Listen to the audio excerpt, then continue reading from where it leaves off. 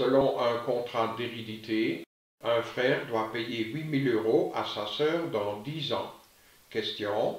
Combien d'argent doit-il investir aujourd'hui à la banque avec 1,75% d'intérêt composé? Comme il s'agit d'intérêt composé, nous allons appliquer cette formule-là. Mais notons d'abord tout ce qui est donné et ce qui est demandé. On nous donne le nombre d'années, donc petit n est égal à 10. On nous donne aussi le capital dans 10 ans, ce sont ces 8000 euros, donc C indice 10 vaut 8000. On nous donne aussi le pourcentage des intérêts, donc petit p est égal à 1,75. Ce qui est demandé, c'est le capital de départ. Si, dans cette formule-là, nous remplaçons Cn par 8000, le P par 1,75 et le N par 10, alors nous obtenons cette équation-là, équation à inconnu C0. 1 plus 1,75 divisé par 100, ça fait 1,0175.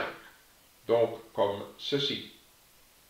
Maintenant nous avons l'équation 8000 est égal à C0 fois 1,0175 exposant 10. Ce nombre-là qui multiplie à droite, on va le mettre de l'autre côté où il va diviser, et ainsi nous obtenons que le capital de départ que nous cherchons est égal à cette fraction-là. Nous demandons à la calculette d'effectuer ce calcul.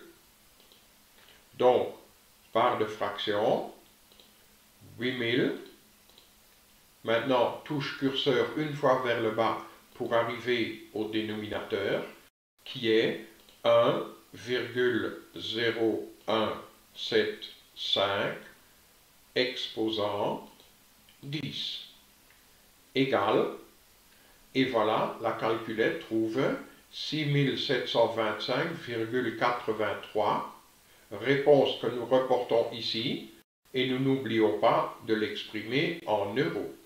Voilà donc le capital de départ qui était demandé. La tâche est déjà terminée.